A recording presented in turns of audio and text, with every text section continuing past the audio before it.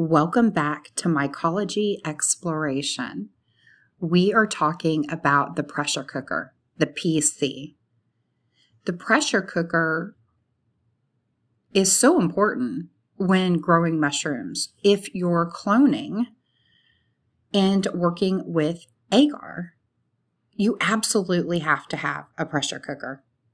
And we're going to talk about it in this video.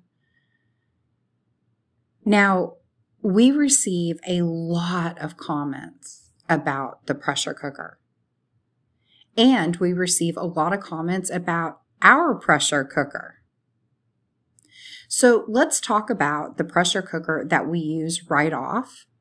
And I'm going to start by saying there is a link in the description of this video and in the description of all of our videos sharing about our specific Instant Pot Duo Crisp model. This study and this specific pressure cooker is the Duo Crisp model. This is not for every single instant pot. This goes for the Duo Crisp model only. So let's be very clear. The pressure cooker that we use is the Instant Pot Duo Crisp model with the pressure cooker option. This model is not only a pressure cooker, but it's also a dehydrator. So we purchased this back in 2021 We've been using it for three years and we love it. And we're going to be completely honest with you and tell you that we spent $250 on our Instant Pot Duo Crisp model. And we think it was worth every single penny. And we're not selling this, we're not sponsored by Instant Pot. We just want to be completely honest and open about the pressure cooker so that you can make the best choice for you. So, the times that you would need the pressure cooker would be for bird seed. And then all of these different agar processes with cloning and transfers. So, if you're using a kit and you're just working with spores, you don't need the pressure cooker. We didn't need the pressure cooker when we first grew from a kit. We experimented. We love experimenting because then we know for us what works and doesn't work. So we highly recommend experimenting.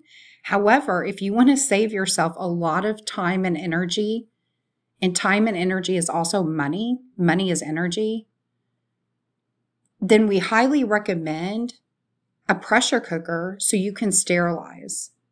If you're going to be really getting into mycology and growing mushrooms and cloning, it is worth the investment to get a pressure cooker that you're confident in and that is easy for you to use. So we are Gen Xers. We were born in the early 70s. So pressure cookers are something that we know about. However, things can go wrong with a pressure cooker because it's pressure and it's cooking. So it's very high heat under pressure.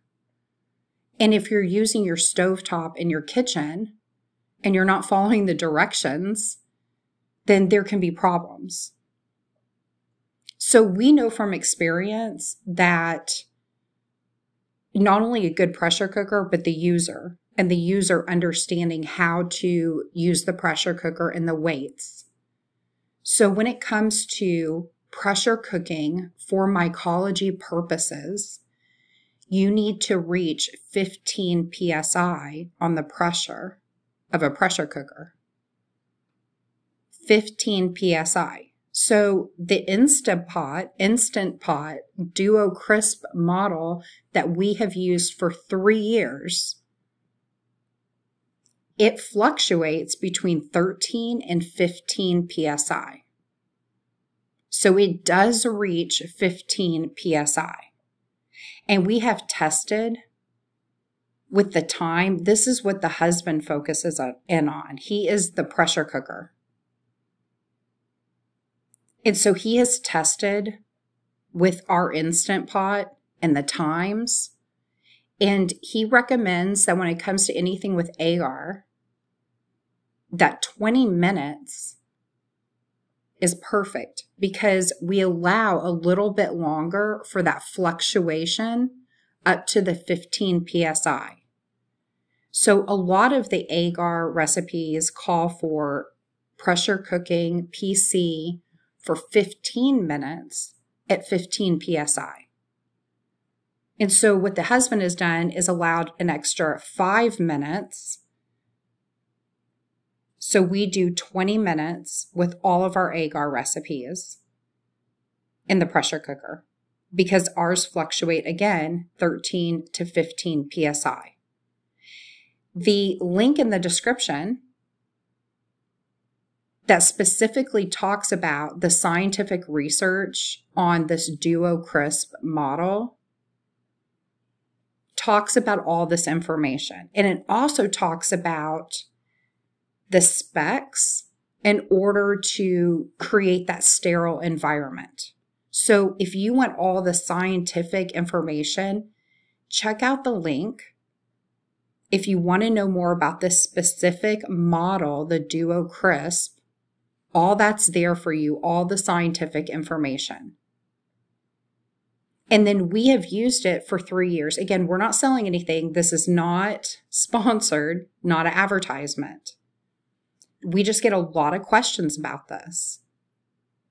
So for the bird seed, when we pressure cook that, the husband has has found that an hour and a half is perfect for the bird seed. And this is going to be in the larger 12 ounce jars. So an hour and a half on the bird seed. And our Duo Crisp model holds five of those 12 ounce jars. We also use the pressure cooker for sterilization. So, in between creating the agar recipes that we use the smaller jars for, and then the larger jars we use for liquid culture, slurries, bird seed. We will clean those, sterilize those in the pressure cooker. And so I asked the husband before I created this, what's the time on sterilization? And he says three hours. He will pressure cook the empty jars in between use. So what we do is we wash them with soap and water, hot, hot, hot water and some soap. And then the husband will pressure cook them for three hours. And there's all sorts of things you can put in your pressure cooker to sterilize and clean them.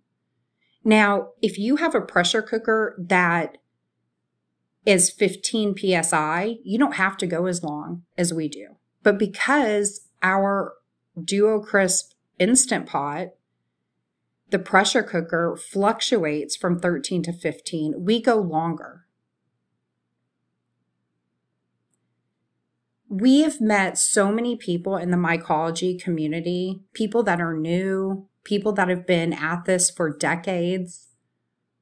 And the pressure cooker has been a hot topic. And we actually have a friend that went all in and got a really fancy pressure cooker. Like, this was just the best of the best. I want to say he spent $150 and it was just a pressure cooker and he used tap water and it ruined his pressure cooker, just the tap water. And so he got it replaced, but then it was just so much work. And he ended up getting the instant pot that we have.